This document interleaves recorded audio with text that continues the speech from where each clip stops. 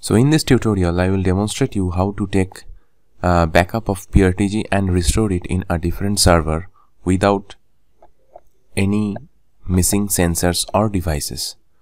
So for this demo purpose, what we'll be using is uh, we'll install two Windows Server version in a VMware workstation and then we'll install the PRTG trial version which will be downloaded from the PRTG's official website using the trial key provided by them.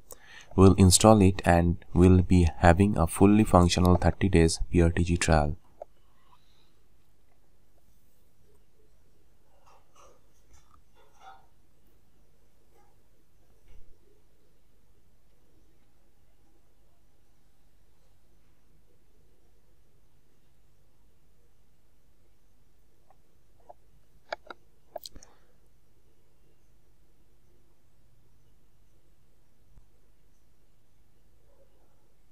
Once the download is completed, we'll begin the installation process and uh, during the installation one email address will be asked. You can give your own email id that will just be before the registration or the notification purpose.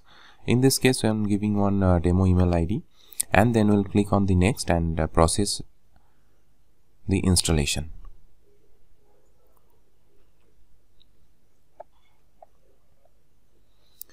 okay once the installation is finished the uh, web browser will open and it will show you the status of installation of the PRTG system.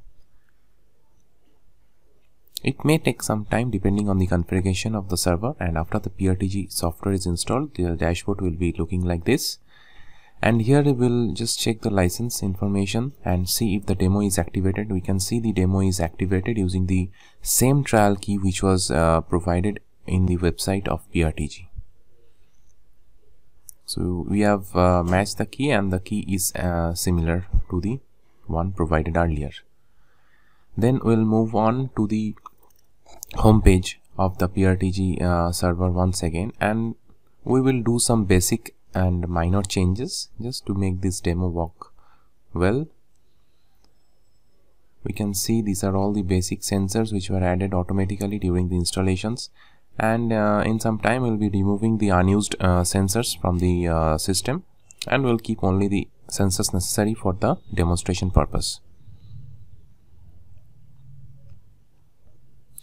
So as you can see many of the sensors which are automatically uh, added and uh, PRTG scans the local network. And if it finds any suitable devices which supports SNMP or basic ping monitoring it gets automatically added in the PRTG system. So we may remove them as if they are not required.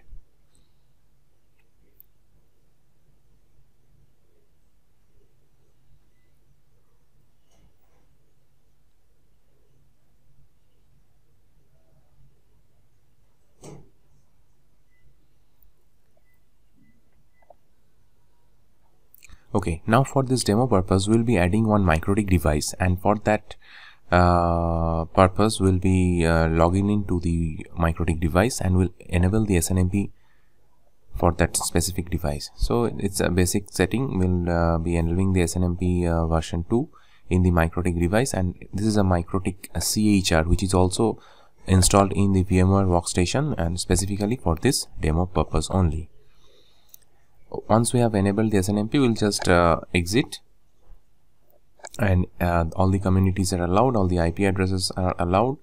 And then again we'll be moving into the PRTG uh, server and we will add the device in this specific server after deleting the unused sensors and the devices from the PRTG server portal. So here we'll click on the add device then we can select the group and then we'll click on OK then we'll be giving the IP address of the MikroTik device and the name of the device. Say for example we'll be giving a, a demo name. And then we'll be providing the IP address the local IP address of the server MikroTik uh, CHR server uh, after adding the same we can see the device has been added but we have not yet added the sensors for the MikroTik device. We will be again deleting the unnecessary uh, devices and the groups present in the current micro, uh, PRTG installation which were there by default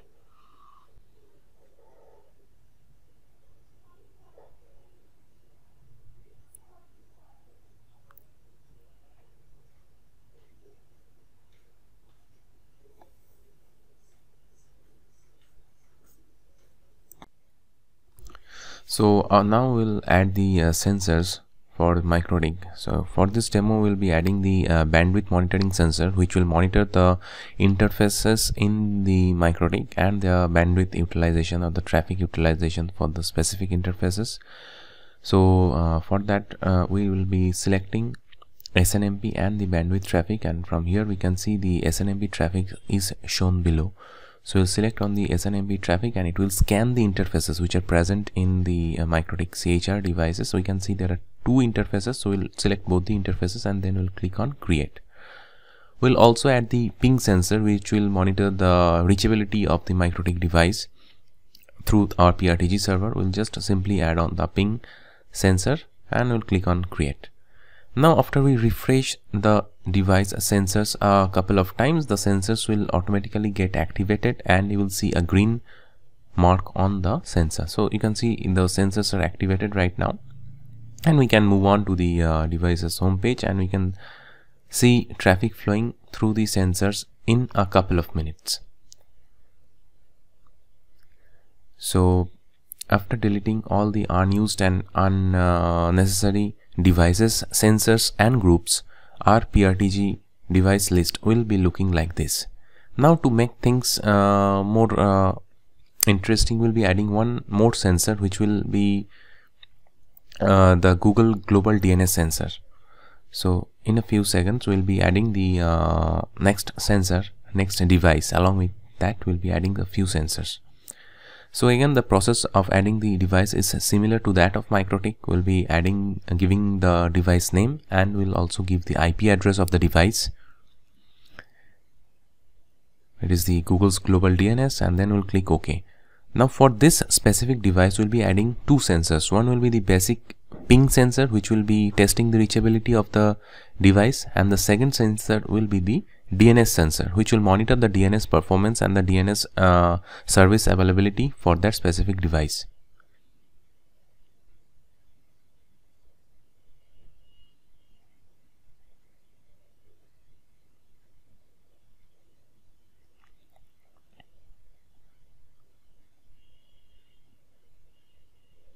So once the sensors are added and we'll refresh the page a couple of times, the sensors will get automatically activated and they're good to go. Next comes the most important part that is taking the backup of the PRTG server. So remember uh, for taking backups the services must be stopped on the PRTG server and no further changes shall be, shall be made on the PRTG server. So basically after stopping the services we have created a folder named as shared inside which will be creating or copying the files which will be necessary for the migration purpose.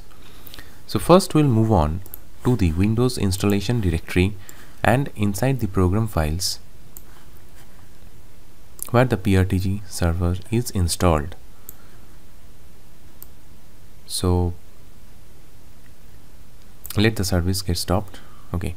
Once the services are stopped, remember both the services must be stopped. The core service and the probe service, they must be in the stopped position before taking the backup and no changes should be made on the server.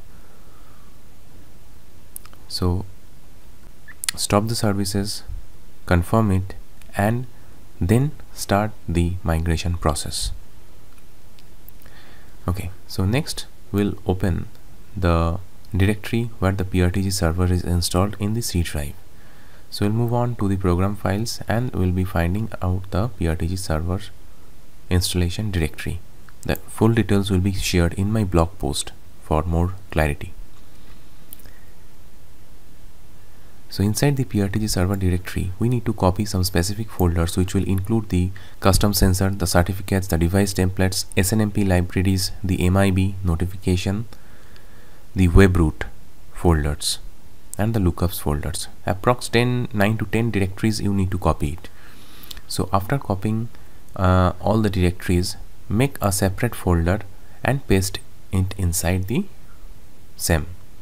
So once it is done, just monitor that all the necessary uh, files are copied or not in you can see in the background the files are being copied still now and after that uh, that part is done then we need to move on to the PRTG network monitor folder in the program data directory in the C drive location.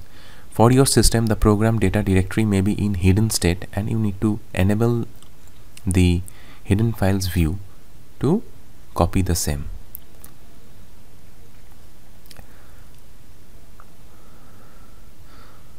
So this is the uh, program data and inside the program data you need to copy all the files present inside it for the migration purpose. So we'll be just copying it and we'll be uh, pasting it here in the program data section.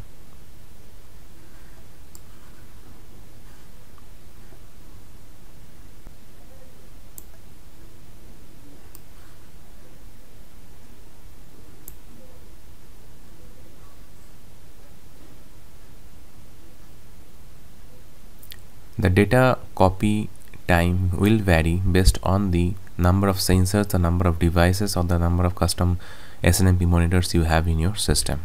Since, since this is a freshly installed system with minimal number of sensors that the copy time is like this. And also remember that I am running it on a home PC with a VM so the performance may vary from uh, system to system.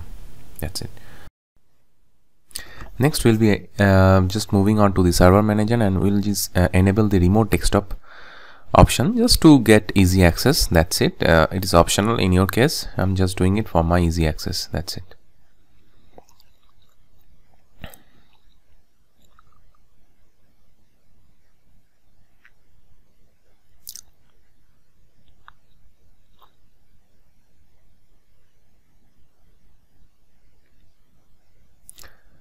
so basically I'm uh, logging into the uh, main master server using the uh, remote desktop protocol.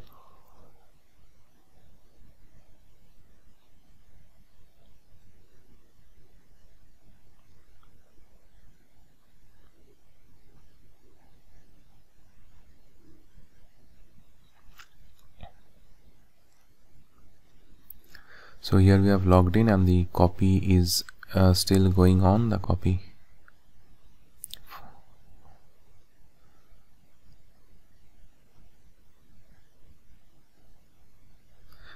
the copy is finished. Next uh, we'll be uh, copying the uh, data files as mentioned earlier.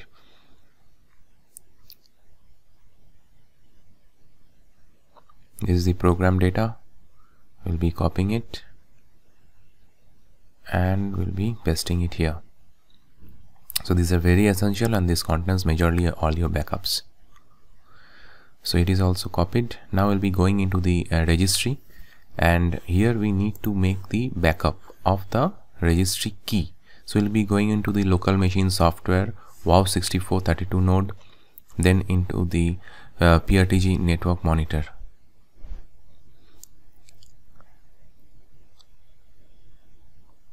And here we will will export the uh, configurations. And just right click and then click on the export option we'll give a name to the export.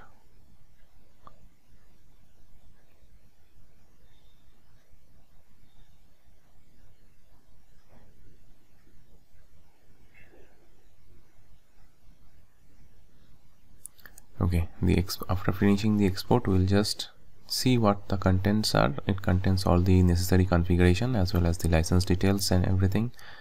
So we'll uh, just cut the file and paste it into the shared folder which will be containing all the files necessary for the migration purpose. So we have just pasted the required file here.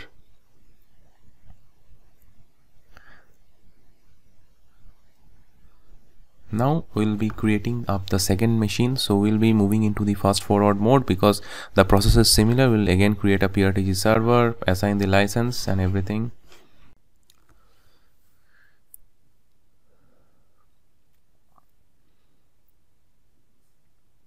okay we have uh, booted up a new system. The same windows server will be installing the PRTG once again a fresh install.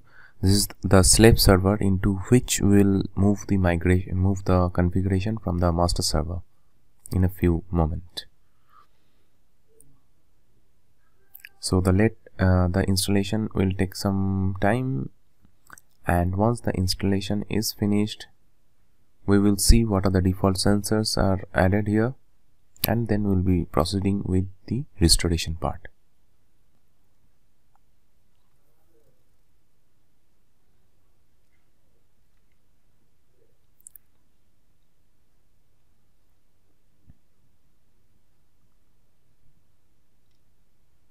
Okay the server is installed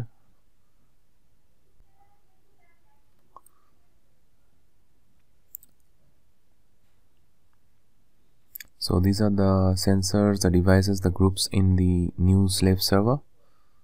So we'll be keeping them as it is.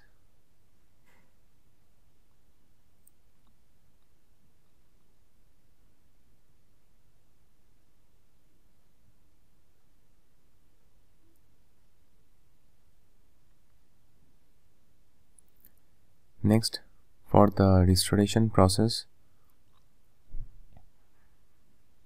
we will be stopping the PRTG services, the probe service as well as the core server services.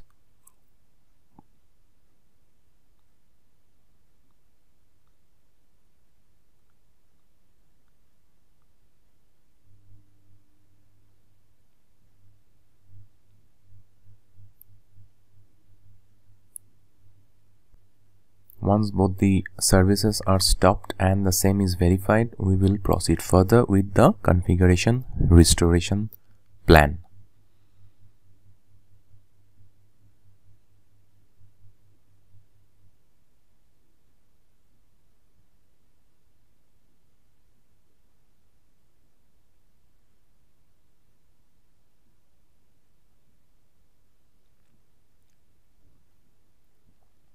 So this is the folder where we have prepared all the files required for the migration purpose.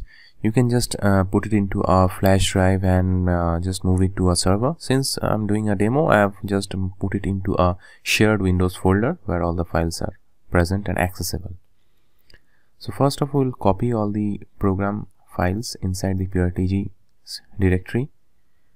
So we are copying all the necessary files from the master server to the PRTG slave server where we are restoring all the configuration files. So again depending on the server's installation, the number of sensors, the number of uh, devices and the custom sensors present, the timing will be different and based on the hardware specifications, the copy time may vary from system to system. So we will wait for the copy process to get finished.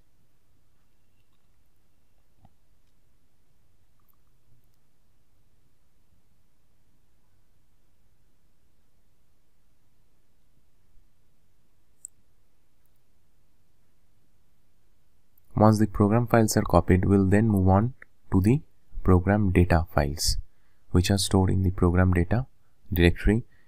The, the folder may be hidden in your system. You may need to unhide them to view them. So you can see how to unhide it. Then we'll move on to the program data and inside that we'll be pasting the folder. Once this is over, then we'll move on to the regex. That is the registry file. We'll just import it and after that we'll start all the services in the slave server. Remember this is the slave server. Once the services are started, we'll now log in to the PRTG and we can see that all the configurations and all the sensors, the devices are migrated from the master server to the slave server successfully.